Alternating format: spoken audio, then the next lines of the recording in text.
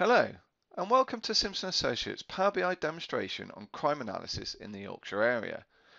Codename CAP, Crime Analysis Platform. Simpson Associates are a Microsoft data analytics partner with over 25 years of experience. The data used within the demonstration can be found at data.police.uk. My name's Dave Kirby and I'm the Technical Solutions Specialist at Simpson Associates and I'll be walking you through today's demonstration. So here we have our crime analysis report based on some of the major towns and cities in Yorkshire.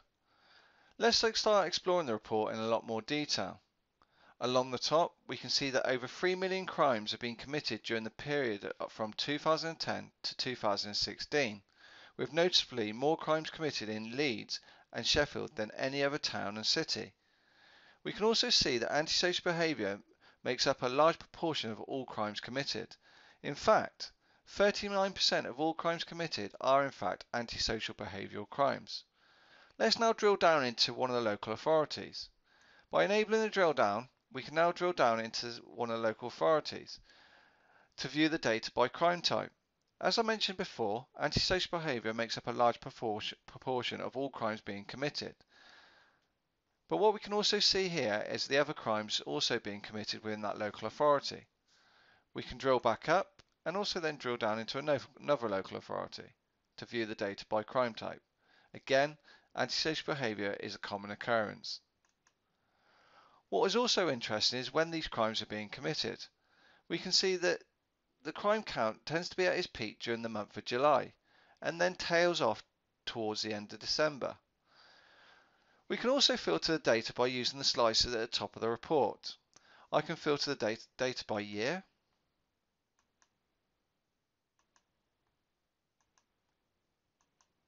and also month. I can select multiple months and then deselect the months that I've already selected. Let's now move on to page two where we can explore the data of, of a particular local authority. So in this report here, I'm now exploring the data with the local authority of York. What we can see is the trend of the last five years along the top, with the total amount of crimes that have been committed during that, during that period. We can also see the crimes that are committed by borough.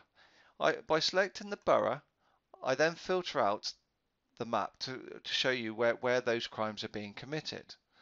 I can also drill down on the tree map and drill into the local borough to view where those crimes are being committed. We can see that antisocial behaviour is also a large proportion of crimes. By selecting that, I can see where antisocial behaviour is actually occurring. Also shoplifting, other theft, other crime, drugs. And what you'll see is that it tends to be a common occurrence around this area here.